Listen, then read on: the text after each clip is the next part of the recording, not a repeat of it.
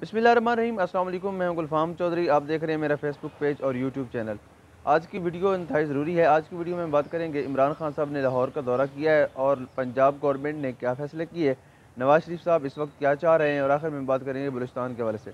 तो सबसे पहले, इमरान खान साहब ने लाहौर का दौरा किया और उन्होंने वज़ी अला पंजाब चौधरी परवेज़ इलाही से मुलाकात भी की। इस हवाले से उन्होंने कुछ अहम फैसले भी किए, कुछ अहम पैगाम भी पहुँचाए। उन पैगाम के हवाले से भी बात करेंगे। सबसे पहले उन्होंने ये फ़ैसला किया कि जो एहसास प्रोग्राम चल रहा था, जिसमें चौदह हज़ार रुपये पर ख़ानदान दिया जा रहा था, उसको चौदह हज़ार से बढ़ाकर बीस हज़ार करने का फ़ैसला किया गया है।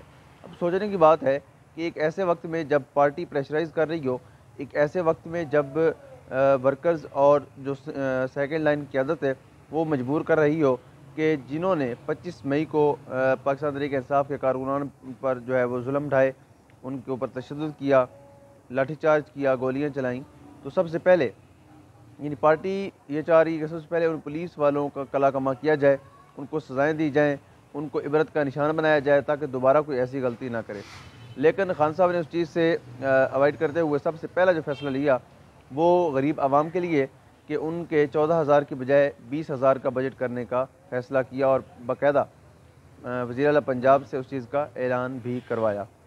उसके बाद हम बात करेंगे सेहत कार्ड की बहाली के हवाले से। सेहत कार्ड की बहाली भी करवा दी गई। हर ख़ानदान अब 10 लाख का सालाना बजट हर ख़ानदान के पास होगा।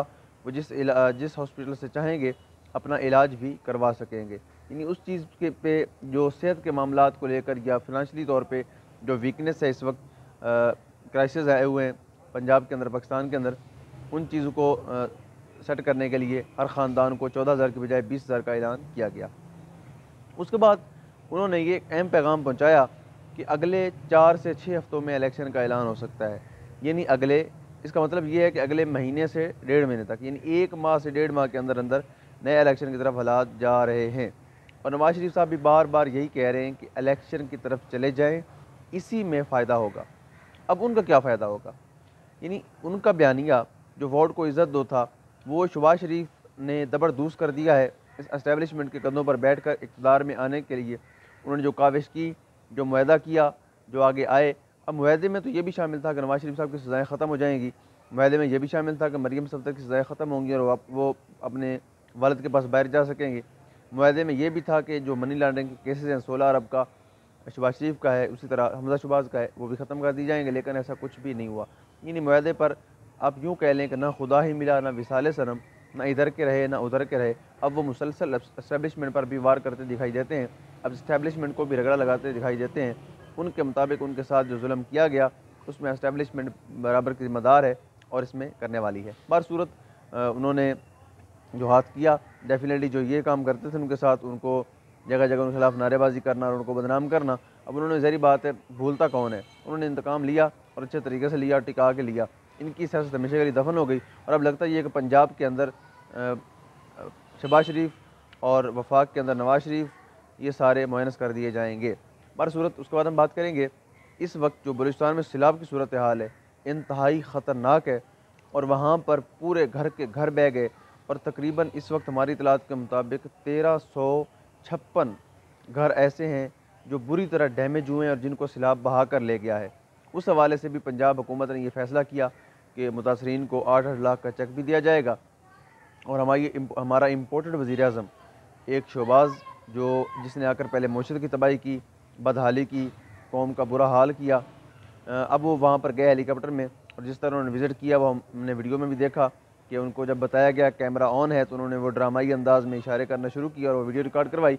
इन ये कौम अगर जाग रही है, अगर देख रही है तो ये समझ सकते हैं और सोच सकते हैं और फैसला कर सकते हैं कि ये किस हद तक पागल, नालायक और नाहल लोग हैं और किस तरह कौम को बेवकूफ़ समझते हैं। ज़मनी इंतबात के सिलसिले में जो इलेक्शन कमीशन बेईमानी से काम ले रहा है, पंजाब इसम्बली में करारदाद पेश की गई है कि इलेक्शन कमीशन को हटाया जाए, क्योंकि ये मुसलसल यक तरफा कार्रवाइयाँ करता भी दिखाई दे रहा है। इसने ग्यारह मखसूस नशस्तों पर जो है वो मतलब सिर्फ़ ग्यारह नशस्तों पर इस्तीफ़े कबूल किए, जिसमें दो मखसूस नशस्तें शामिल थीं।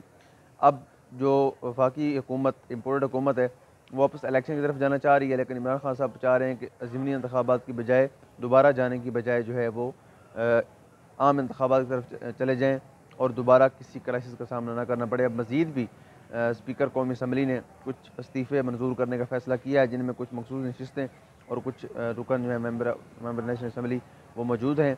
अब देखते हैं कि वो किस किस के फैसले इस्तीफ़े मजीद मजीद जो है वो कबूल करते हैं और पी टी आई को टफ टाइम देते हैं, या फिर नए इंतबात का ऐलान होता है। अब तक के लिए इतना ही। अपना ख्याल रखिएगा। अल्लाह नहीं